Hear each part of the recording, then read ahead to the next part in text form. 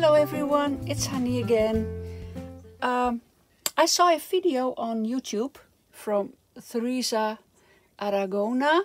I'm not sure if I pronounce it correctly. If I don't, I'm sorry. I apologize. But what she did is uh, making a grid and lines uh, on a gelli plate. Um, I put a link to her video below. Uh, this is her name, Therese Aragona from Therese's Crafty Cabana. I hope you can read it. Yeah. And what she does, she makes these kind of papers on a gelli plate. Well, I thought that's a wonderful idea and thank you so much, Therese, of Therese it is. And um, I was uh, trying some things. Where do I have them? Yep. I do it a bit different than she does. But all the credits are going to her, of course. I didn't uh, invent this. Uh, I made this one. I made a lot more, but I like these the most. And this one, and this one.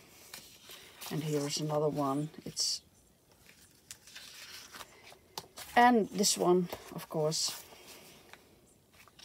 Well, that was this way, I think. Yeah. Uh, well, I show you how I do it. Let's put this aside for a bit.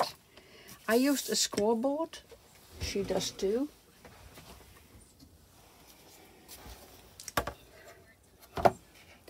Uh, if you don't have a scoreboard, I think you can use a, a ruler and a um, stick or something like that. Maybe this one.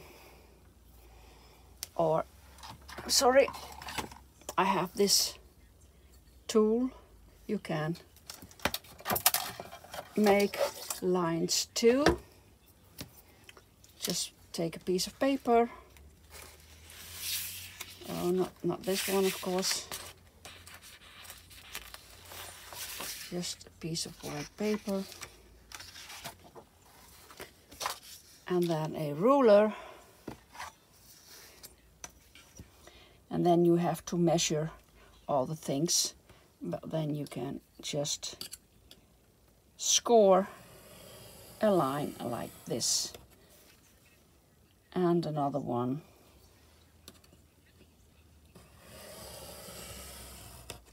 So you get little you see fold lines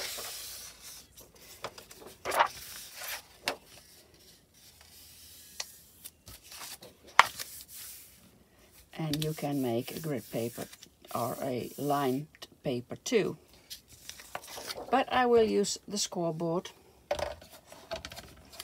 Uh, I use a bit thick paper, thicker paper than copy paper. I use, um,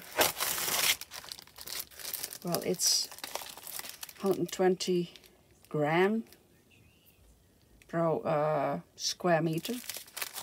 I don't know uh, how you uh, measure the weight of paper, but that's how we do it. So I get a piece of paper. It's 120 grams, I said. Yes. Um,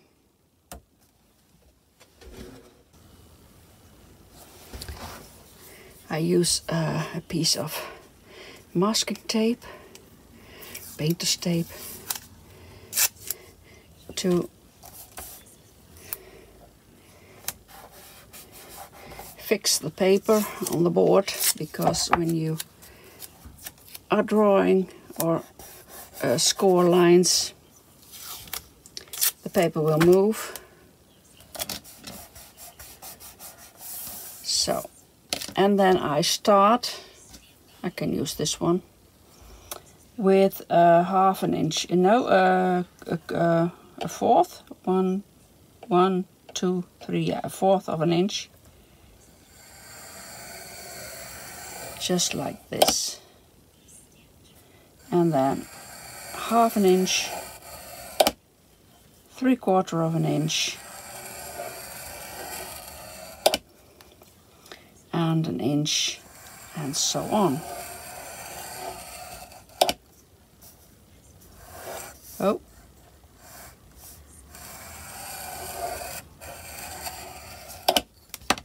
Use this better.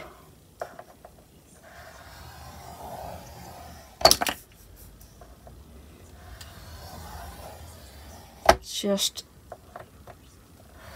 two inch and the whole way through.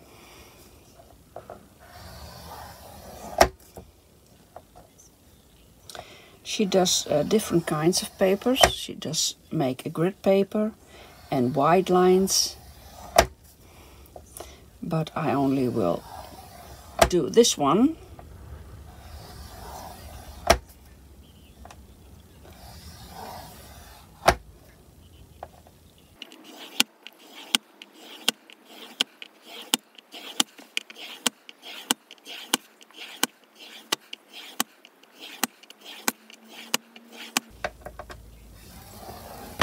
And the last line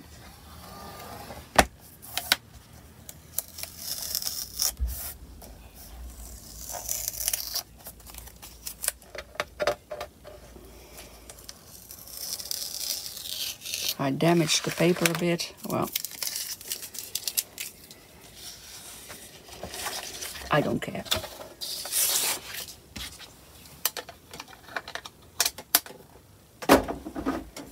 So this is the grid paper. And not the grid, uh, the lines, paper with lines of a quarter inch. And that's how many centimeters I will measure that for the European.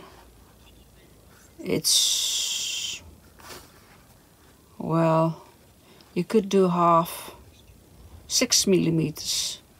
Six millimeters, yeah. Well, if you see it, I don't know if you see it, but those are between the lines are the valleys and the lines itself are the mountains. It's rising up the lines itself. If you use the other side, it will be the opposite. Sorry then the lines are the valleys and the space between the lines are the mountains. Well, she used only this side in that video, but I'm going to use this side where the lines are the valleys. Yeah? So, I get my gelli plate well, it's not a real one. It's a homemade one. I made it, well, I think it's more than 10 years ago. I made this gelli plate.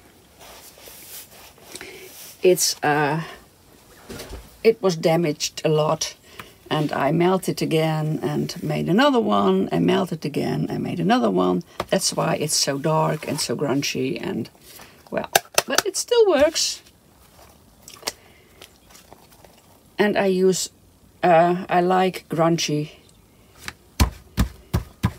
prints so um,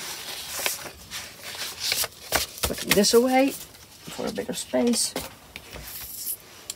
um, you can use different uh, color combinations um, what I liked was the blue one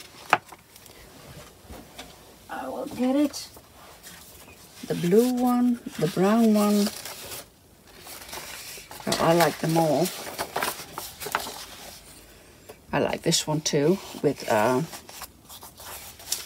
neon and blue. This is where the lines are mountains,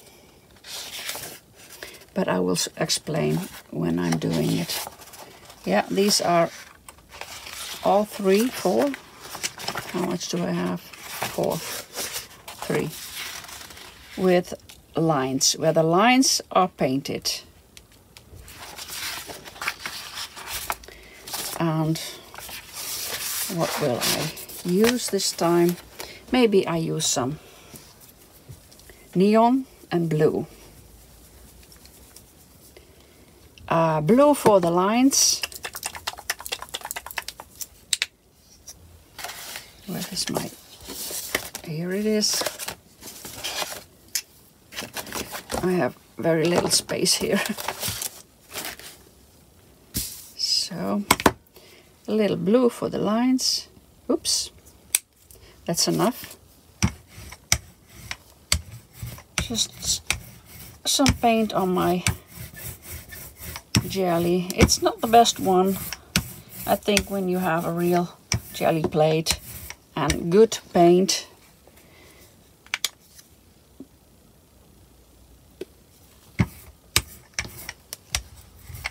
It will work better, but I have an old gelli plate and old paint. So, now I'm getting my lined scored paper and um, I'm going to use where the lines are the valleys and the between the lines are the mountains. So I will turn it around and put it on there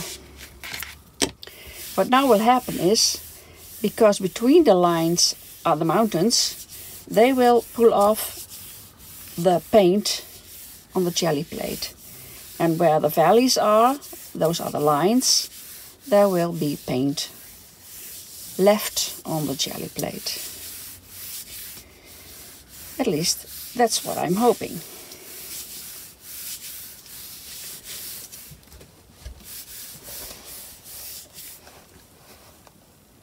Am I filming? Yeah, I think I am, yeah. So now will I pull it off and you see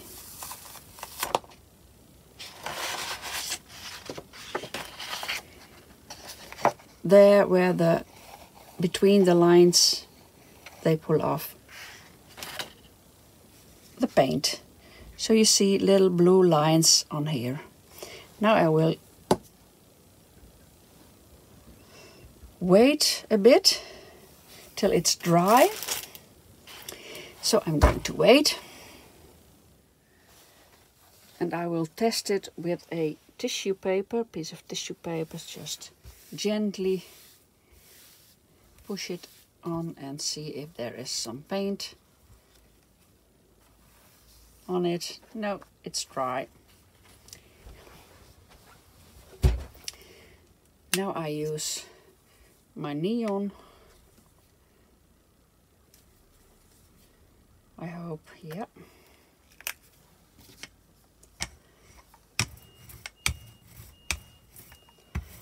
So I said, um, when you use a good gelli plate and good paint, I think it's going to be better than this. You see, it's a bit old, but that's what I have. So I will try this. And I like the grunginess, so, but you saw I put, pulled some paint off.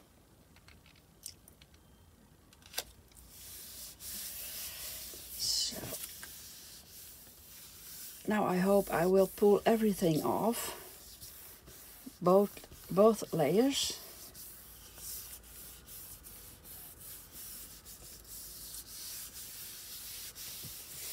Pushing hard Maybe I will buy a real gelli plate someday. But hey, I'm not often do this. But I liked the video so much, so I thought let's give it a try. It's always a surprise. I like it anyway. There are pieces not pulling off, you see. But I like it anyway. You can ride on it. It's nice. So, I will leave it this way and now I will pull another one. I think maybe with white, perhaps. I'm getting some lines.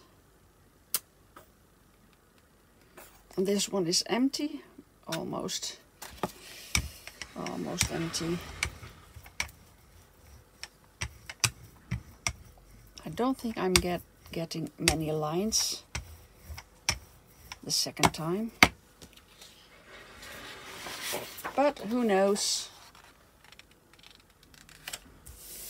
Maybe now I'm pulling everything off.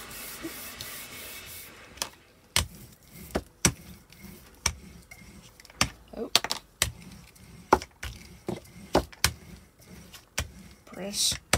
Firmly. Yeah. I think I pulled off most of it. And I like this one too. There are missing lines, but I can use pieces of this. I like it. I love it. Really, I do. Um, maybe a bit of brown now. Like I said, it's old paint, you see. It's very, it's, it's like poop. Bit of poop on my gelli plate. A bit too much.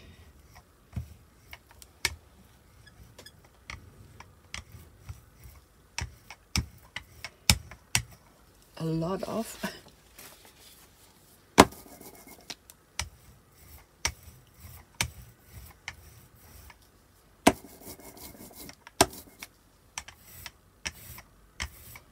So, um, I will use it the same way again. So between the lines are the mountains. So the lines will stay on the gelli plate. And between the lines we'll pull it off. We'll, we'll pull the paint off. That's nice too.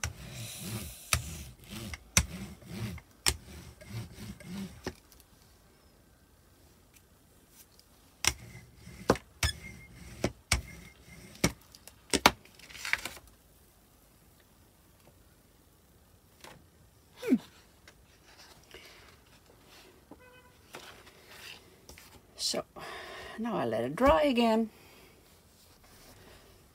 Doing the test.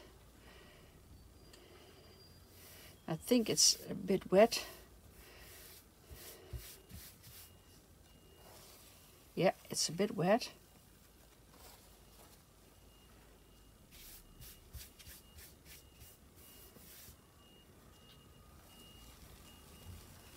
Oh, well, it's okay now, I guess. Um, will I use white? Yeah, I will use white.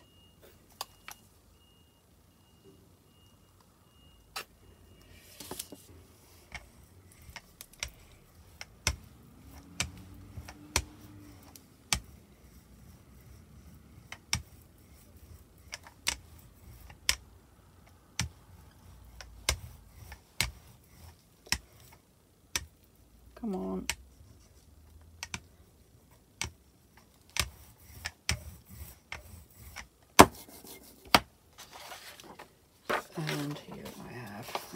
Piece of paper.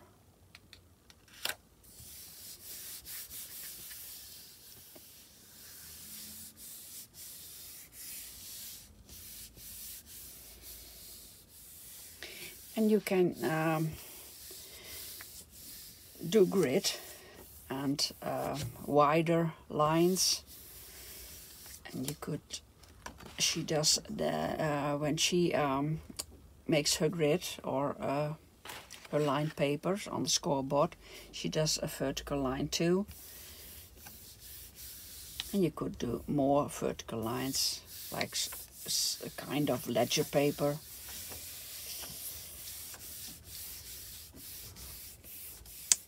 You could write on it maybe.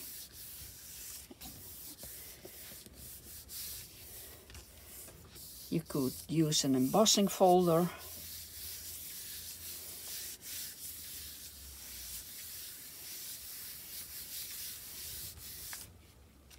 not folder, but oh, I love this one too. You see? Love it. Now I will make some uh, of one the way she does it.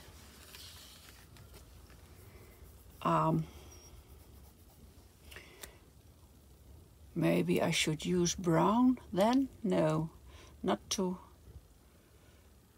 maybe I should use blue. You have to write on it so it has to be a light color.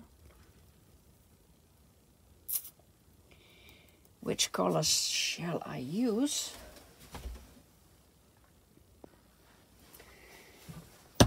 Well I have a metallic paint here. I didn't use it before it's a new one, I think. No, I used it once, I think. Just try it. Oops.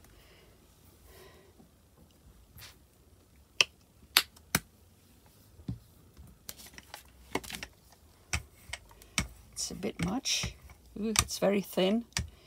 I'm not sure if this is going to work.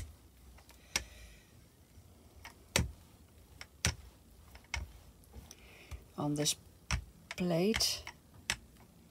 Well, I can try. Why not?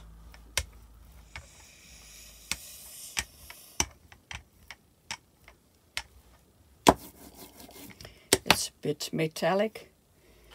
Now I will take my scored paper and I will use the other side where the lines are the mountains and the space between the lines are the valleys this way.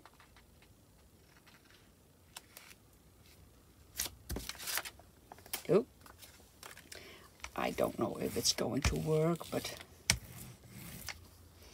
I'm afraid not. But who knows? It's always a surprise. And I like to show it too when it goes wrong or not that well. Well, let's see. Mm, it's not beautiful. This one, though, is it's not that beautiful, but hey, there are lines. So let it dry. Well, I think it's dry enough. Yeah. Um, I have to have another color. Maybe blue will do. Could use green or, but let's try blue.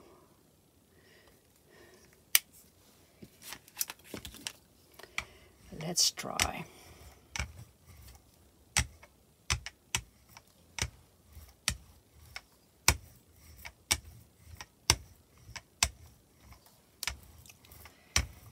Because this is now the color of the lines, I hope.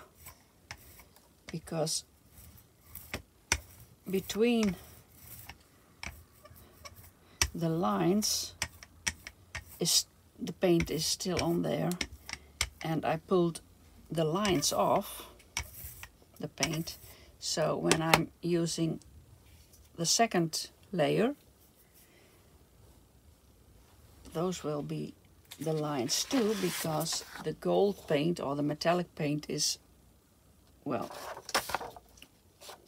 before that between the the blue and the gelli plate. Well we'll see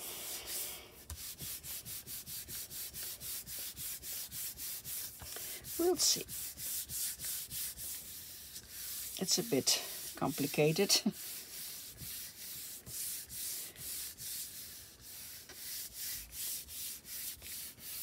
when I explain it, it's complicated. When you do it, it it's not, I think.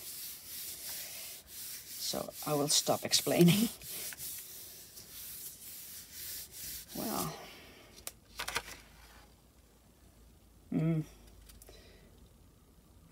it's not that well. You can't see it. It's more blue than well, this was a failure. You can see lines, but not very clearly. Maybe uh, there is not much gold or metallic on the plate left. It's too, too soft. But there are lines, yeah. So, um, I will uh, do some more and um, play a little bit and I show you uh, the results.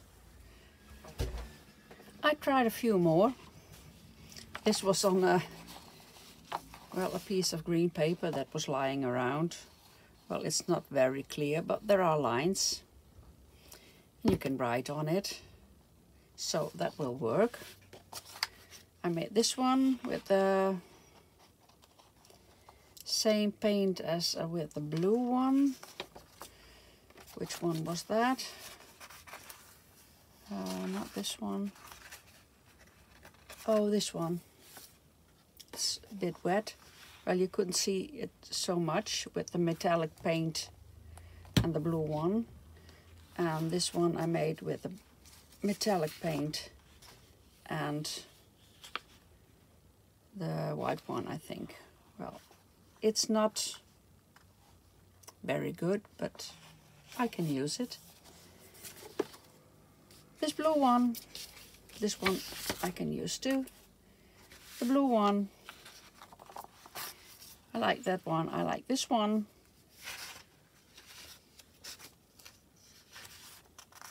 And I like this one. You could use them uh, as journaling spots in your journals, Of course, journaling cards, the back of the tag of a tag, like this one too. These are uh, where the lines are white and the space between the lines is paint, colored paint. This is my best, I think. I like the grunginess Here's missing a lot, but I can, can use some piece. A journaling page, you can write on it. This one too, like this one too. Well, this is not very well. And this one is okay too. Um, like I said, when you use good paint and a good gelli plate, well, you get better other results. Uh, I recommend to watch Therese's video, link below, and uh, please be kind to her. Please subscribe to my channel and her channel. And uh, I thank you for watching. Bye bye.